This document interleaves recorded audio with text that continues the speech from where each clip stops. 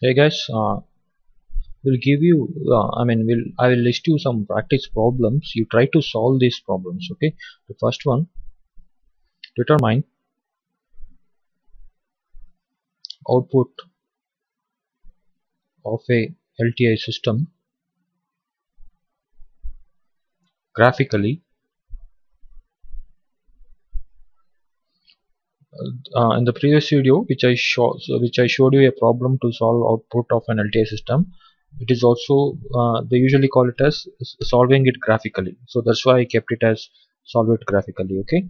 So graphically if if the input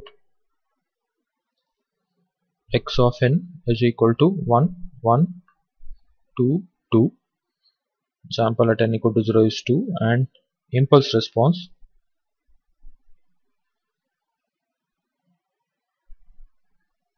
is h of n is equal to 1 comma 1 comma 1 so second one determine determine convolution sum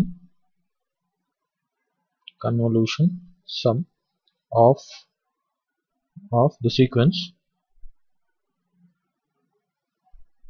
x of n is equal to 4 times delta of n plus 3 minus 2 times delta of n plus 2 plus delta of n plus 2 times delta of n minus 1 and h of n is equal to delta of n plus 2 times delta of n minus 1 determine convolution sum. So convolution sum is nothing but again output of an LTI system. Uh, next third one. Find find output of a LTI system. If input is input is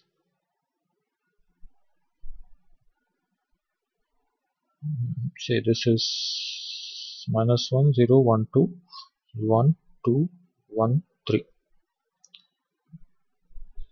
this is input and impulse response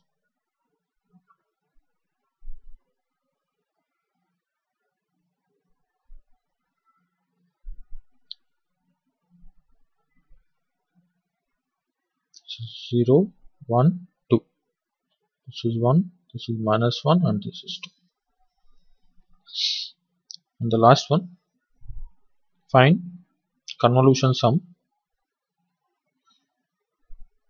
Convolution sum of x of n is equal to u of n minus u of n minus 4 and h of n is equal to delta of n plus 2 times delta of n minus 1 plus 3 times delta of n minus 2 so try to solve these problems